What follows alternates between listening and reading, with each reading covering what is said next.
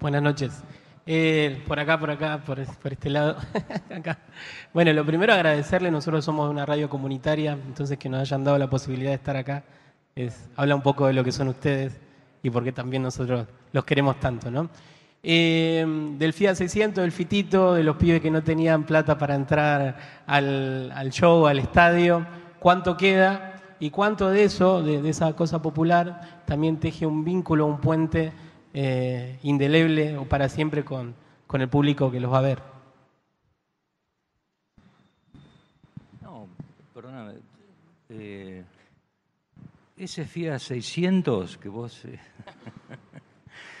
sigue estando. Lo extraño. Lo extraño. Sí.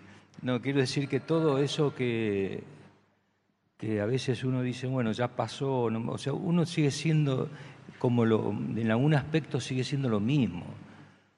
No, no tenés por qué buscar nada distinto porque sos eso, no, no, no hay manera. Es, simbólicamente el FIA 600 representa una cosa de un momento. Para mí es eterno. Eh, Quedó en un lugar donde eh, nos identifica y nos ubica en ese lugar de esos pibes de barrio que quisieron hacer eh, música y llevados dentro de un Fiat 600. Es un buen tamaño. Nos queda bien. Para, para mí por ahí es barato, pero para mí se resume como barrio. Barrio. A mí me pasa cuando por ahí me preguntan por ellos y digo, son tipo de barrio. Pasaron cosas, pero eh, y cuando digo barrio por ahí, por, por eso por ahí digo es barato, pero hay algo en, el, en la formación en el barrio, no sé si del conurbano, no sé cómo, no quiero separar capital, provincia, pero un poco lo separo. Capital ver, también es, es barrio. hay barrio capital, pero en este caso yo hablo del. Sí, y el yo barrio digo, suburbano, Sí, perdón, ese, por eso digo, es eh, medio un análisis un poco corto, pero hay algo de eso, ¿viste? Son tipo de barrio. eh, como ese, si no saludabas al almacenero de al lado, decía, ¿qué haces, estúpido? No sé. Y yo creo que la esencia un poco es, es esa. Eh, por eso digo, es algo básico lo que digo, pero que sé que todos lo entienden un poco. Y yo creo que ellos, y me separo porque, bueno, entiendan por qué me separo, digo ellos. Eh, creo que son, y son tipo de barrio, ¿entendés? Como decir, bueno, Una, yo trabajé en Tilcara y uno veía a las tardes, los jueves, eh, un maestro que, que enseñaba a algunos chicos la guitarra y ese maestro fue el que produjo Guanuqueando y produjo tantas cosas. Don Ricardo. Don Ricardo, ¿no? Y uno lo veía ahí y yo, mirá, qué bien que toca. Claro, es Ricardo Vilca. ¿no? Entonces, Sí, también el barrio tiene Era eso, un, ¿no? un hombre muy sensible, un gran músico, eh, así superlativo. ¿eh? Eh, las melodías de, Ricardo son increíbles. eh, cuando lo descubrimos en el 2000, cuando fuimos la primera vez, y nos mostraron su música, eh, yo lo emparenté con, Focus, con una banda holandesa que tenía como esa manera de componer. Es Focus. O sea, en vez de flauta traversa es una quena, en este caso, pero las melodías y- y las cadencias de acordes tenían que ver con esa música. Eh, me llamó mucho la atención cómo él fusionó la música clásica con la música andina. Que eso también es otra jugada, ¿no? Pero a la vez te das cuenta de que todo tiene, tiene relación, porque si no, no funciona. Así que ahí este, eh, don, Ricardo, un ser súper humilde y maestro, o sea, justamente quizás por esa humildad que tiene. Hermoso. Y con respecto a lo, a lo que decías de... em, la letra de Amapola dice eso, trenes de mimbre del sueño del rock, de esa ingenuidad, que habla justamente de eso, de lo que no se pierde y que quizás eso es lo que elegís todos los días y por eso volvés a la sala de ensayo y por eso te volvés a encontrar con esa persona después de más de 40 años. Tiene que ver con eso, con no perder esa ingenuidad, ¿viste? Esa capacidad de asombro que te da la música. Eh, para un joven músico como yo, eh, ¿qué consejo por ahí podrían dar? Algo que, no sé, de motivación, algo así. Eh, me encuentro también un poco como medio eh, queriendo componer cosas y eso, pero bueno, a veces eh, se hace costoso. No sé, eso. Tenés que creer en vos. No, no hay mucho secreto. O sea, es creer en lo que, en lo que estás haciendo y en lo que estás intentando hacer. Porque para el no ya tenés el mundo exterior. Entonces, eh, crea tu propio sí. Y es, que es lo que hicimos este, cuando éramos chicos, peleando contra, hasta contra nuestra familia, que ¿viste? querían el destino de estas personas estaba trazado quizás por, por los mayores. Y eso es lo que uno tiene que romper porque hay una pulsión propia que es lo que vos tenés que respetar.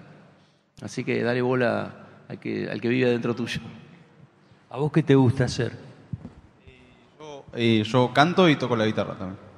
Soy un- Dale con todo. Yo, yo creo que un poco ligado a lo que decía Harry de... ¿Qué palabra usaste? No dijiste trinchera. Cuartel. Dijiste cuartel.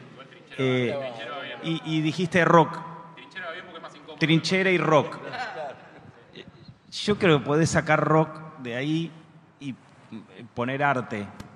Y quizás el arte, que a veces suena como una cosa abstracta y, medio pretenciosa y no sé qué, creo que en esos momentos de confusión global él termina ayudando mucho. Yo creo que todo, todo ser humano que pasa por el arte, desde que es chiquito y dibuja, desde que es más grande y dibuja o hace cualquier cosa donde te encuentres probablemente solo haciendo algo, un dibujo o música, o algo, no sé qué tiene, porque la verdad no sé, por ahí habría que traer unos psicólogos y unos analistas, unos sociólogos y, estudiarlo.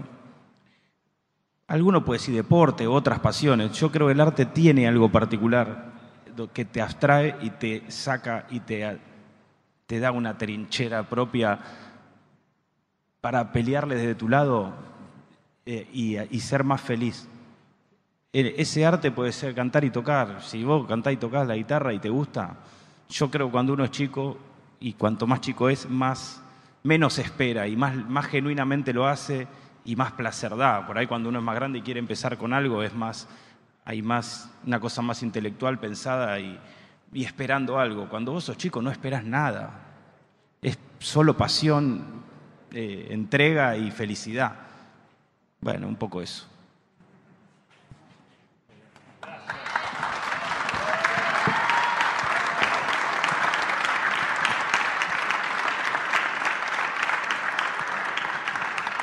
Bueno, muchas gracias a todas, a todos, a todos por este, compartir este rato y acercarse hasta acá. Sé que es un viajecito, pero bueno, les agradezco mucho que, que estén acá. Gracias.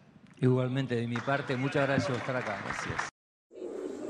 Guanuqueando. Sí, Ricardo Vilca. no, una canción que la hemos, este, ¿cómo sería?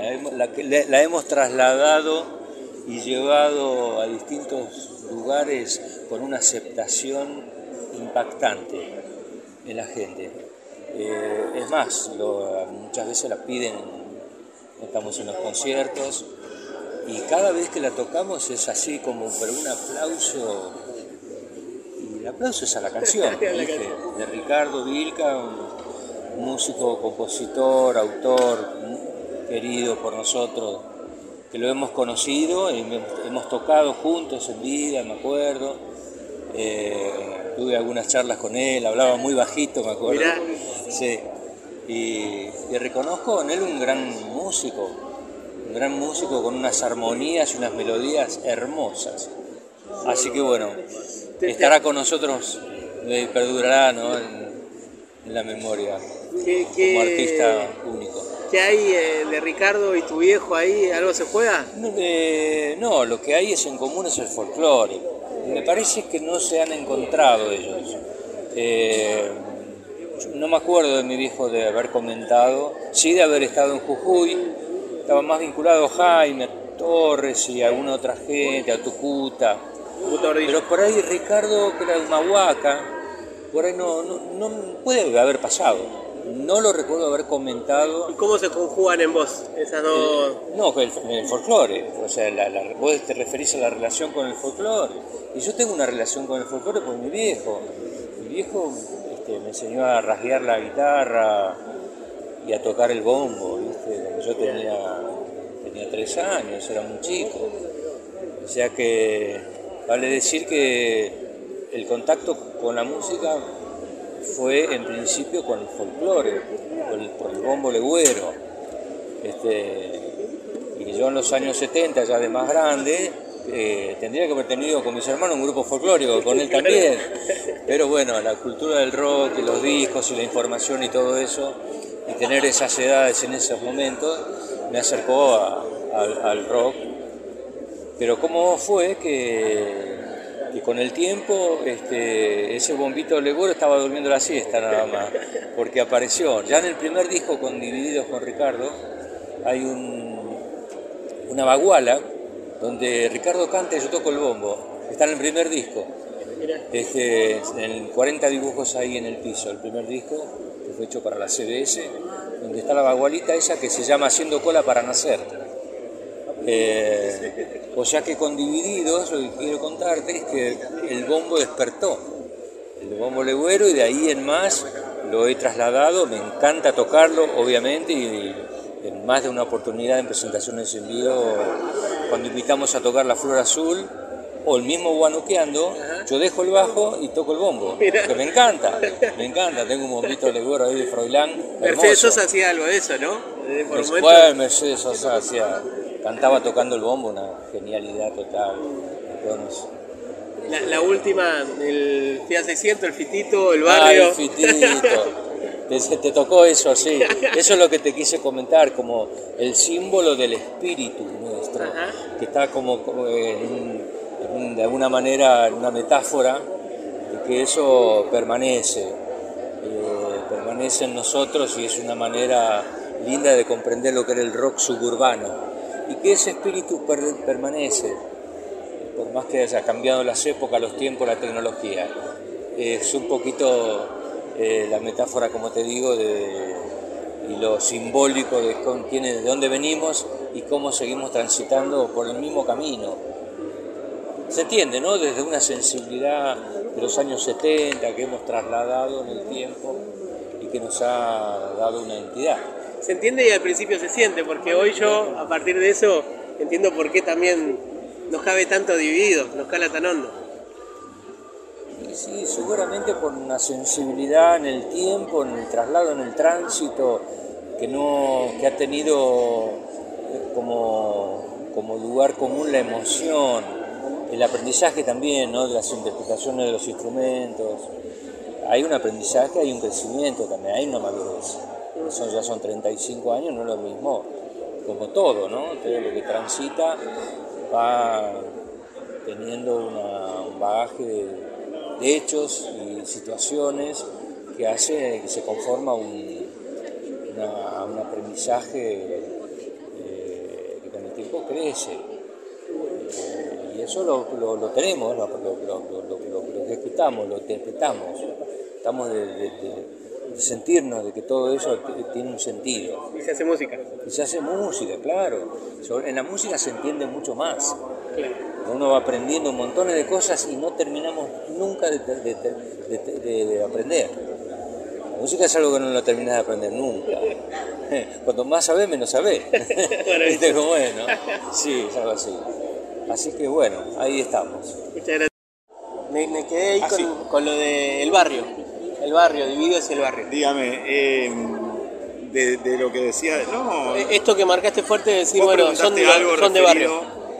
a cómo mantienen la, la- la- lo genuino y no un poco así, cómo se sost- No, yo te yo quizás lo que digo un poco cuando me preguntan por ello, ¿viste? Como digo, son tipos de barrio en esencia. En esencia son tipos de barrio, entonces siempre aflora el tipo de barrio, ¿entendés? En el trato con la gente. Me dicen, che, es así, Ricardo, Diego. Me lo crucé a Diego en el coso y se quedó hablando una hora. Sí, contigo te vas a quedar hablando una hora. Es un santiagueño de Hurlingham, ¿entendés? Buena. Sí, y Ricardo es un tipo de palomar, ¿viste? Y más allá de lo que haya pasado en su vida, el artista que es, la, la- la trascendencia que tuvo, sumo, dividido, todo lo que. La esencia, la- él no la perdió nunca, ellos no la perdieron nunca. Y creo que en eso hay algo muy del barrio, por eso aclaraba. eh, hay barrios en Capital que son bar. Yo hablo del que me tocó, de ese conurbano, de ese... ¿Cuál es tu barrio? Yo soy de Aedo, Morón, Mirá, Palomar, Aedo, está ahí en el límite. Pero hay algo que está en eso, es como en mis abuelos, en saludar al almacenero, en saludar al vecino.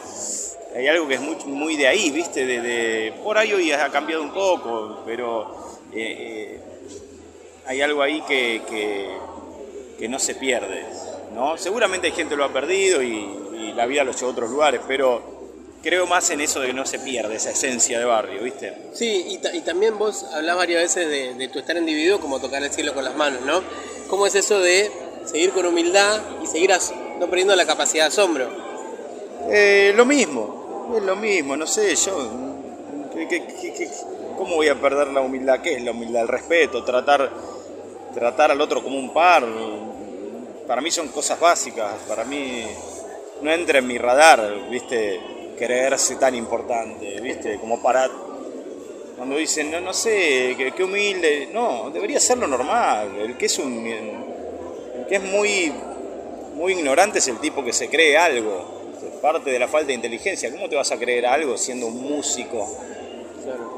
¿Qué- si por eso tenés que destratar a alguien o, o ser menos humano porque sos un músico que te aplaude. Estás- ¿Dónde estás? ¿Viste? Hay tipos que aclaran, no, yo sigo yendo a cargar nafta. Y claro, ¿cómo no vas a seguir yendo a cargar nafta?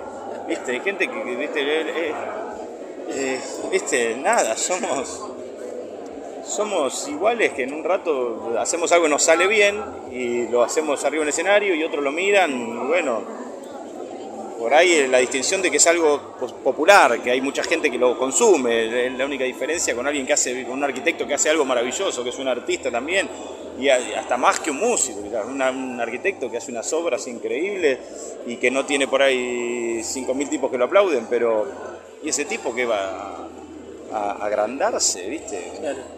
No, para mí no entra. La última, Catriel, tu mejor momento en Divididos, el día, un No. instante. No, mi mejor momento es ahora. Es, el, es creo que nuestro mejor momento. así que Desde cada minuto, cada show están siendo como muy, muy disfrutables, muy lindos, muy humanos. Así que me quedo con el, el ahora. Muchas gracias.